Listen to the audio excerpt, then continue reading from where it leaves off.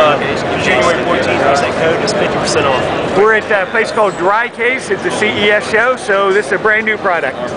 What you have here, it's uh, completely waterproof. We've had it someone scuba dive down to 100 feet with it. We have a patented vacuum seal.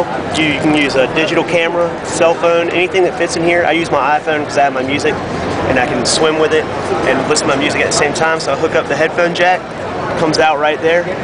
We also sell waterproof headphones that they'll go down to about 10 feet until the pressure doesn't allow them to vibrate and emit uh, sound anymore.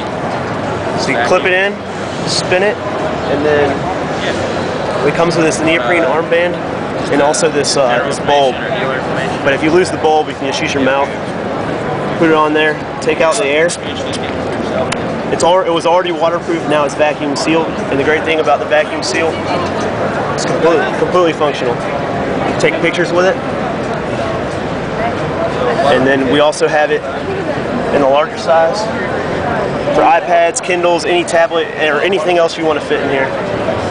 So this will run down to a depth of uh, basically 100 some feet. Well, someone took the iPhone down to 100 feet. Um, it could go further, we don't know. It's just it pretty much the dry case is going to hold it as long as the phone doesn't break. The uh, kind of interesting thing is the idea of the vacuum on here, so the capacitive screen works very easily through uh, less than one millimeter, which it is. But one of the most important things about this, since it's going to be used for a project, is this plug right here. The plug then is actually a plug that allows you to control the outside world to what's in here. They have an earphone jack, but you can think of it as some kind of external plug they make with data, GPS, a number of other things from an external source into it. You guys really have a great product. On, on this iPad case, can you give me the approximate price of one of these? Absolutely. We, uh, re retail these for $59.99, and for the smaller ones, they go $39.99. The headphones, $29.99. This, I think, solves one of our main problems for a major project we're going to have. So awesome. thank you very much, John. Absolutely. Edwin, here's an overview of the dry case that uh, is on the previous video. It has the strap, most importantly the vacuum bulb, here is a case then that will allow the iPad to uh, remain operative down to a depth of 100 feet, mainly because it has a capacitive uh, display onto a touchscreen. Resistive will also work, but the key here is a vacuum controlled by the bulb. The other and most important thing for us is the fact that they do have a sealed connector. This connector just happens to be a 4-pin connector, which would be good for audio or video. It's a conventional connector.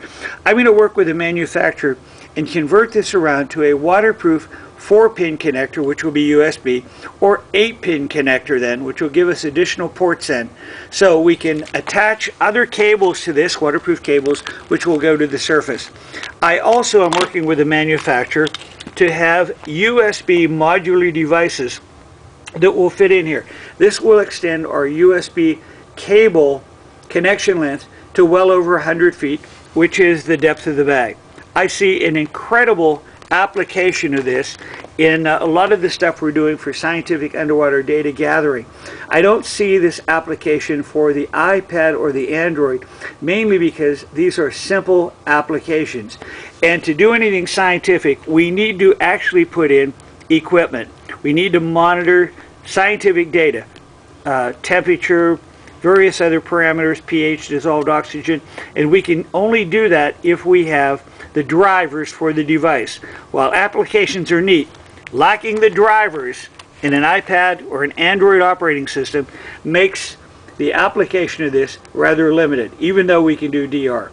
So anyway, something to think of from CES 2011, Las Vegas, Nevada.